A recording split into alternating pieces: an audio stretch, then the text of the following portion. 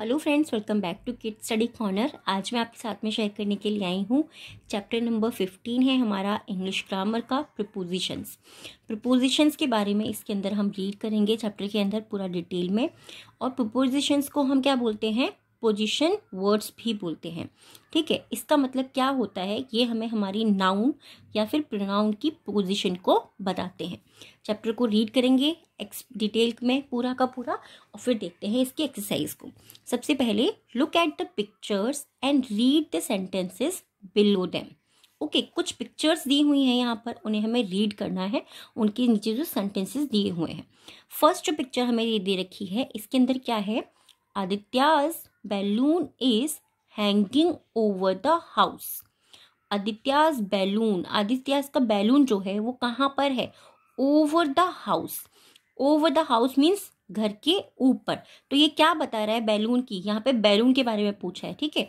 तो ये क्या बता रहा है? बैलून की पोजीशन को। उसका बैलून कहाँ है? घर के ऊपर है। ओवर द हाउस नेक्स्ट जो पिक्चर है हमारी नेक्स्ट पिक्चर के अंदर क्या है? The cow is under the tree the cow is under the tree under क्या है यहाँ पर? हमारा पोजिशन है, क्योंकि वो बता रहा है कि काउ जो है वो ट्री के नीचे है। ठीक है? अंडर द ट्री नेक्स्ट देखते हैं हम। नेक्स्ट पिक्चर क्या दी हुई है हमें? नेक्स्ट पिक्चर दी हुई है। The cat is in the basket the cat is in the basket in क्या है? इन भी हमारा प्रपोजिशन है। क्योंकि वो हमें क्या बता रहा है? कि जो कैट है, वो कहाँ पर है? उसकी पोजीशन को बता रहा है कि कैट किस जगह पर है, ठीक है? तो इन क्या हो गया? इन हो गया हमारा प्रपोजिशन और वो बता रहा है कि वो बास्केट में है, ठीक है?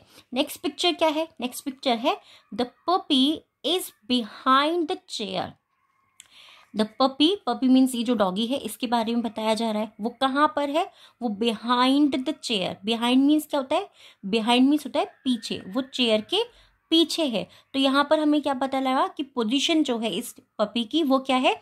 वो चेयर के पीछे है बिहाइंड द चेयर है। तो आप लोगों को अभी चार प्रपोजिशंस पता लगी ओवर ओवर मीन्स किसी भी चीज़ के ऊपर होना अंडर किसी वस्तु के नीचे होना, और इन किसी चीज़ में होना, अंदर होना उसकी, ठीक है? और बिहाइंड बिहाइंड मीन्स सिंपली क्या हो गया? पीछे होना। और भी पिक्चर्स को देखते हैं, जैसे कि फ़र्स्ट अब यहाँ पर हमारी आती है ये। The baby is in front of the table in front का मतलब क्या हुआ? इन फ्रंट मीन्स होता है सामने होना या फिर आगे होना। ये जो बेबी है, वो टेबल के आगे है, उसके सामने है। सिंपली इन फ्रंट भी हमारा क्या है? प्रपोजिशन है। नेक्स्ट पिक्चर है हमारी। The bird is near the window वो जो वर्ड है, इस बर्ड के बारे में पूछ रहे हैं इसकी पोजीशन के बारे में पूछ रहे हैं तो इसकी पोजीशन क्या है? वो नियर है विंडो की। ठीक है, जो विंडो दी हुई है, इस विंडो की ये नियर है। The bird is near the window next क्या है? Ruhi Ruhi's bag is between the chairs Ruhi ये जो लड़की है, ये दी हुई है। इसके बैग की पोजीशन पूछ रहे हैं तो इसकी बैग की पोजीशन क्या है? वो बिटवीन है। बिटवीन मीन्स बीच में है। दो चीज़ों के बीच में है तो बिटवीन भी हमारा यहाँ पे प्रपोजिशन हो जाता है। तो ये प्रपोजिशन किस चीज़ की बता रहा है? बैग की बता रहा है। और बैग क्या होता है? हमारा नाउन होता है। जब भी हम नाउन या फिर प्रोनाउन की पोजीशन को बताते हैं, उसके लिए हम प्रिपोजिशंस का यूज़ करते हैं। नेक्स्ट देखते हैं। नेक्स्ट कुछ और भी दिए हुए हैं तो Ruhi's bag is under the table अब यहाँ पर क्या बताया कि यहाँ पे रूही का जो बैग है, वो कहाँ है? अंडर द टेबल टेबल के नीचे है। ठीक है? The fruit basket is on her head अब देखिए ऑन मीन्स भी पर होता है और अभी जो हमने देखा था यहाँ पर ओवर मीन्स भी ऊपर होता है। अब इन दोनों में अंतर क्या होता है? ओवर का मतलब होता है किसी भी चीज़ के ऊपर ऊपर की तरफ़ होना। उससे टच नहीं कर रहा है। ये जो बैलून है, यहाँ पर क्या है? ये छत से टच नहीं हो रहा है, इसके ऊपर दूर है। बट यहाँ पर जो हमने ऑन का यूज़ किया है, इसमें क्या हो रहा है? ये जो है, ये इसके सर से टच हो रहा है, यानी कि इसके ऊपर है, बिल्कुल ऊपर लगा हुआ है। इसीलिए हमने यहाँ पर ऑन का यूज़ किया ऑन हर हैड जो फ्रूट बास्केट है, वो उसके सर पर है। ठीक है?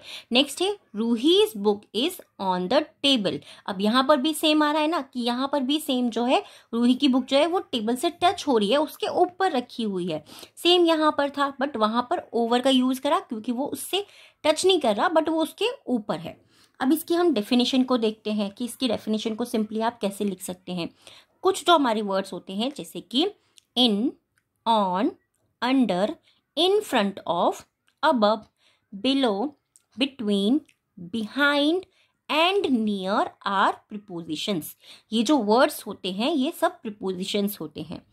Prepositions tell us the position of a noun और अ प्रोनाउन प्रपोजिशंस जो होते हैं, वो क्या बताते हैं हमें? हमें वो नाउन की या फिर प्रोनाउन की पोजीशन को बताते हैं। जैसे कि नाउन क्या है? हमारी बुक्स जो है, हमारी नाउन है। तो नाउन के बारे में क्या बता रहे हैं कि वो किसी चीज़ के ऊपर है। रूही का बैग कहाँ है? वो नीचे है। तो उसकी पोजीशन को बता रहे हैं। These words are also called position words इन शब्द को, ये जो शब्द बोले जाते हैं, इनको हम पोजिशन वर्ड्स भी बोलते हैं। अब ये चीज़ ध्यान देने वाली है। क्यों ध्यान देने वाली है? क्योंकि कभी कभी एग्ज़ाम्स में आ जाता है कि आप पोजिशन वर्ड्स लिखिए। तो बच्चे क्या होता है, हम लोग मोस्टली क्या पढ़ के जाते हैं प्रपोजिशन का मतलब ये ये वर्ड्स होते हैं, ठीक है? हम ये नहीं समझ पाते कि इनको भी प्रपोजिशन बोल सकते हैं और पोजिशन वर्ड्स को भी प्रपोजिशन बोल सकते हैं। यानी कि दोनों ही मीनिंग सेम होता है बट हमें ये चीज़ पता होनी चाहिए कि दोनों का मीनिंग सेम है, तभी हम एग्ज़ाम्स में उसको अच्छे से कर सकते हैं। अगर आप चाहते हैं इस चैप्टर की एक्सरसाइज में आपके साथ में शेयर करूँ तो आप मुझे कॉमेंट करके बता सकते हैं। आपके साथ में मैं ये जो चैप्टर है कम्युनिटी बॉक्स में टेक्स्ट कर दूँगी, वहाँ पर आप इजीली कमेंट मुझे कर सकते हैं। थैंक्स फॉर वॉचिंग अगर आपको अच्छा लगा है तो प्लीज़ मुझे बताइएगा ज़रूर। Thank you so much